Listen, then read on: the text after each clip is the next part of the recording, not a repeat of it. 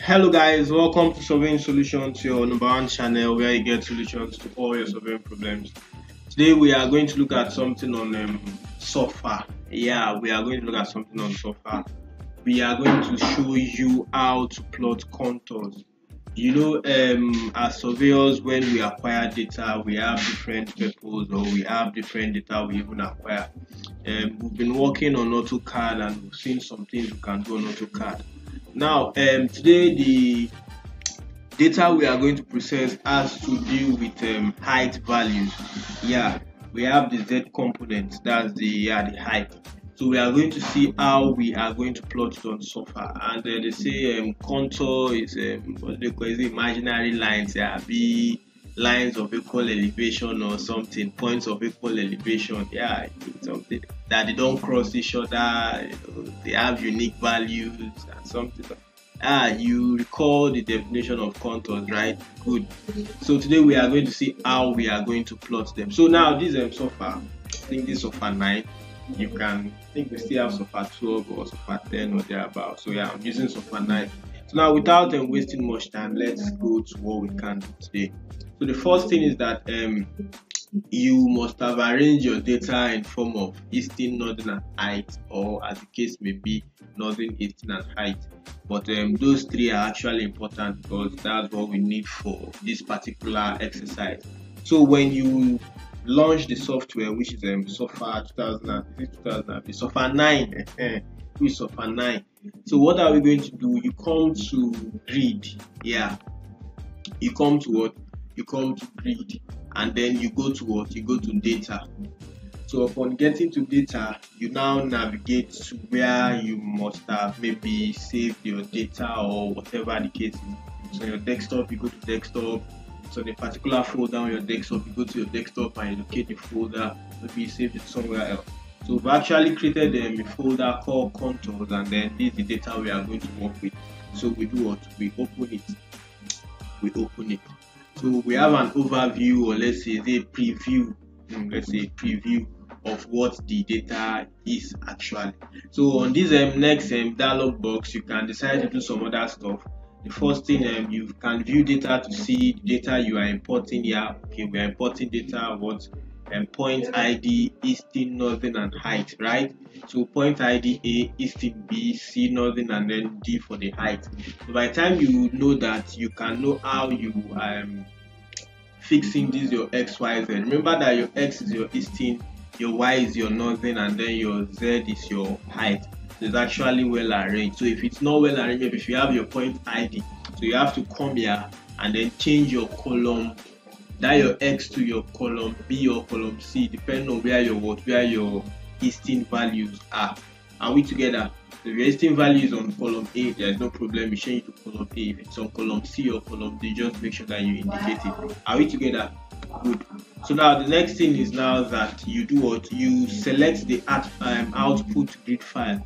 So the grid file will actually be stored on this folder we actually created for the contour using that same name um, sh that sh simply means spot height or whatever the case is yeah. So it's okay. So we now do what? You click on okay. I actually unchecked this um, create grid um, report because we don't need it and i actually don't need it for this particular video. So you can actually check it or uncheck it like click it or maybe deactivate that case may be if you need it or you don't need. So we don't need for this video. So i unchecked it. So you say what? Okay. So the software will give you a notification that um, the grid file has been created. You can see the file has been created. So we can now do what? We can now plot our contour. So what do we do? We come to what? We come to map. We come to new. Then we choose what? Contour map. We choose contour map. So for us to do what? For us to plot that contour map or for us to have the contour map, we have to use this um, grid file we created, the Surfer grid, which is this actually. So we do what? We open it upon opening it we can see that what the contour has been what the contour has been plotted. So you can see it's very simple it's very fast and um, you can just do for as many as you want to. Now there are some other stuff you can do with this. You know maybe if you want to increase the interval you want to know some other stuff. So the first thing is just what? You click on the contour. So you see um, contour properties. Yeah contour property. So you have um, where you stored it, maybe the location, you have the level, then you have the layer. So the levels here, maybe you can just click on the levels to do or to change interval. Like now, if we reduce this interval to 0.1, we are going to see that the contour will be more applied. You see that the contour is now more, the lines are more. The same thing happens if we perhaps reduce it or maybe we increase it rather, let's say 0.9. Remember the default was 0.5. So you can now see that it's a bit scanty. So these are some other stuff you can do. Maybe line, you want to change the line style, you want to change the line type and the rest of that. But basically what I'm concerned with now or what we want to show you on this video is the interval so now let's leave it at that 0.5 it's actually better that way so that um, but we actually have to show you that you can edit those stuff good so apply and then let's say okay so this is your contour now remember that you can still move this thing to AutoCAD you can actually move this thing to AutoCAD so we are just going to show you how you can as well or how you can move this the contour you've actually generated on Surfer or the contour you draw, maybe you drew on Surfer, how you can move it to how you can move it to AutoCAD. So it's very simple. You come to files or file rather, and then you click on you click on export. You click on export. So um, there are different well, there are different um, um, file extension there, but what we need is um, any AutoCAD extension, which is um, the DXF that we have here. So we click on the DXF and then we give it a name. So let's say we are giving it um, this just DDDDD as the case may be. So now this particular file name will be saved as an AutoCAD file type. So that by the time we go on AutoCAD, we can actually access it on what? We can actually access it on AutoCAD. So now we do what? We save it. Are we together? So um, export options I'm not sure there is anything we should consider or maybe bother ourselves here. So just say okay. So we now have this particular contour in an AutoCAD or an AutoCAD um, extension that we can actually access on AutoCAD. So how do we confirm what we've done? We launch the AutoCAD software, which I'm doing right now. So we launch the software, then we do what? Upon launching the software, we open to that particular um, that particular file we open to that particular file so um, without spending much time i'm just going to use the shortcut open uh, open right? Good. Enter.